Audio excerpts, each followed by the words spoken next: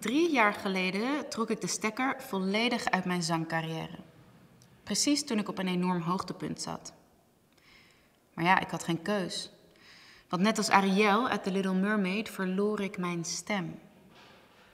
Niet aan knobbeltjes of heesheid, zoals je wel vaker hoort, maar aan een soort pure verkramping, die als een tergend trage olievlek gestaag mijn hele strotte hoofd in beslag nam.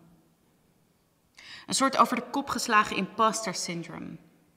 Een rotsvaste overtuiging dat ik als de bedrieger die ik ben nu toch echt door de mand was gevallen.